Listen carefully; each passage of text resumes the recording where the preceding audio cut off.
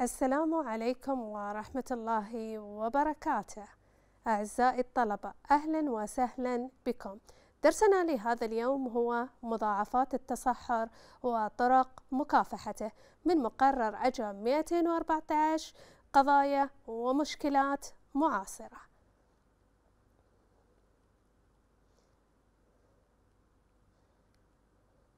يتوقع من الطالب في نهاية الدرس أن يصنف مضاعفات التصحر يوضح طرق المحافظة على القطاع النباتي.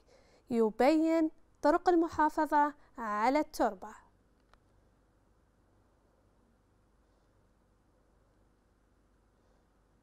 عزيزي الطالب من خلال المقدمة التي أمامك نلاحظ أن للتصحر آثار بيئية بالغة ومضاعفات اقتصادية واجتماعية وديمقراطية وهو ظاهرة تهم الدول المتقدمة والدول النامية على حد السواء ففيما تتمثل هذه المضاعفات وما هي الطرق المحافظة على القطاع النباتي وعلى التربة. ننتقل الآن إلى النشاط الأول أمامك مجموعة من العبارات المتعلقة بمضاعفات التصحر. من خلال هذه العبارات الموجودة أمامك عزيزي الطالب صنفها كالآتي مضاعفات التصحر البيئية مضاعفات التصحر البشرية والمضاعفات الأخرى.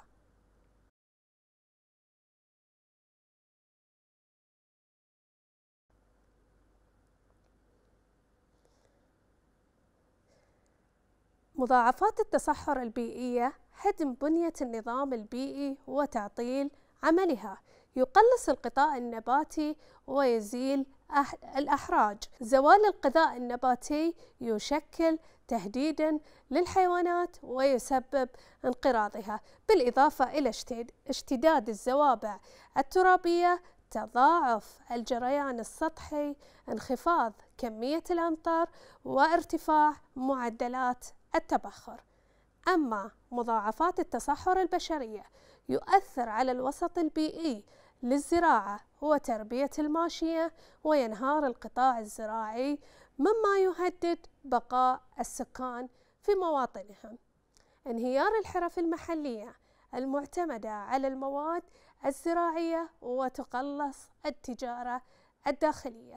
هجرة المزارعين وبعض الرعاة للمدن وتزايد الطلب على الغذاء أما المضاعفات الأخرى تراجع الاقتصاد الاكتفائي المعيشي توسع الفقر في ضواحي المدن ينشأ لدى النازحين الشعور بالقلق والمرارة وقربة ثقافية واجتماعية.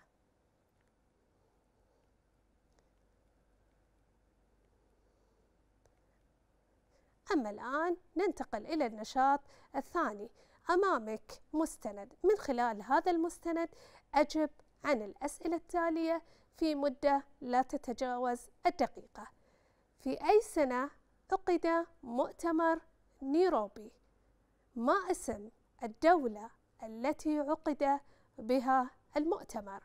ما هي أبرز توصيات المؤتمر؟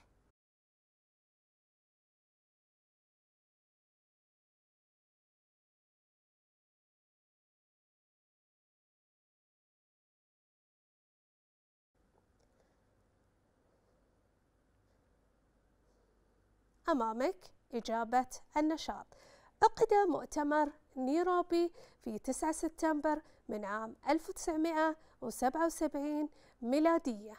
أما الدولة التي عقد بها هذا المؤتمر هي كينيا. كانت من أبرز توصيات المؤتمر إنجاز خريطة للمناطق المعرضة للتصحر في العالم. تجميع أكبر قدر من المعلومات والبيانات المتعلقة بالتصحر في العالم. وضع خطة متكاملة لمقاومة عمليات التصحر. العمل على زيادة خصوبة التربة الزراعية بالإضافة إلى العمل على تحسين نوعية الإنتاج بإدخال وسائل الزراعة الحديثة. العمل على إيجاد مصادر جديدة للمياه وتطوير المصادر الموجودة. تكثيف التعاون الدولي في مجال مكافحة التصحر.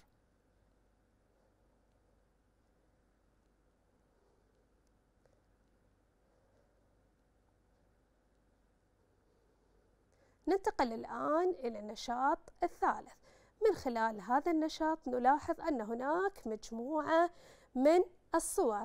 الصورة الأولى تمثل مستند رقم واحد العمل على زراعة أنواع مؤهلة من النباتات. المستند رقم اثنان العمل على منع التحطيب العشوائي. أما المستند رقم ثلاثة العمل على تحسين الموارد في أماكن الرعي من خلال الصور التي تم عرضها وضح أبرز طرق المحافظة على القطاع النباتي.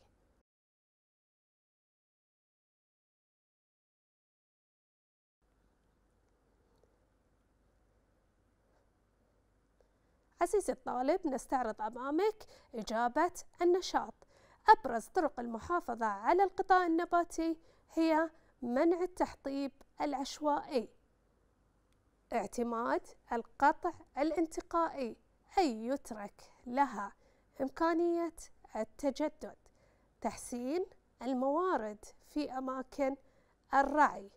بزراعة أنواع من النباتات الملائمة للمناخ والتربة. كذلك زراعة أنواع مؤهلة من النباتات تملك القدرة على التكيف مع الظروف الطبيعية وضع تشريعات وبرامج تربوية.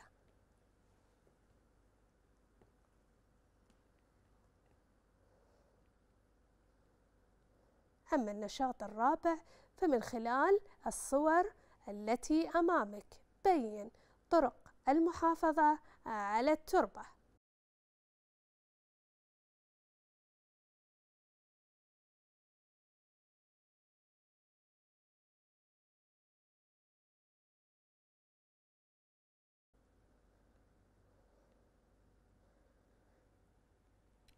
واحد حماية التربة من الانجراف من خلال التشجير وبناء المدرجات تثبيت الكثبان الرملية بتشجيرها من أنواع النباتات التي تتكيف مع خصائص التربة.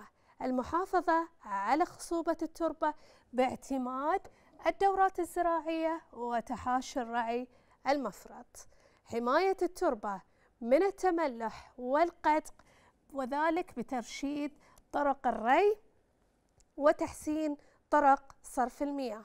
استعمال الأساليب الزراعية المناسبة للتربة مثل نشر عازل من القش أو الحجارة أو البلاستيك قريبا من جذوع المزروعات لمنع التبخر وحماية التربة. دراسة الوسط الكيميائي للتربة للحد من استعمال المبيدات أو المنشطات. الاستمرارية في العمل الزراعي والصيانة الدائمة للتربة. عزيزي الطالب من هنا انتهى الدرس. تمنياتي لكم بالتوفيق والسداد.